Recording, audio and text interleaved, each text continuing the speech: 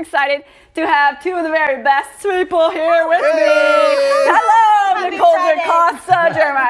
Jeremiah Stroup. Hey. We wanted to wish you all a happy weekend, but first let's just talk weekend plans. What you guys up to this weekend? Mm-hmm. Soapbox Derby, Mount Tabor. Going to see some things fly down the hill, I believe. That's awesome. Is that tomorrow or Sunday? Really? I think it's Tomorrow. tomorrow. Okay, We're hoping, great. but rain, we don't know. We're going to have to Yes. stay tuned. But you have fashionable things. It better not rain on my parade, but it is going to be an awesome day over at the Round at Beaverton Night Market. So I'm excited to see that. Yes. Also, for those fashionistas, the La Pacifica Runway Show, which is supported by LGBT, LGBTQ plus individuals as well as the BIPOC community, has a fashion show October 26th. But their model casting is tonight and Sunday. Is that why you're dressed up? So I'm hoping. No, I, I don't think I have what it takes to start that runway.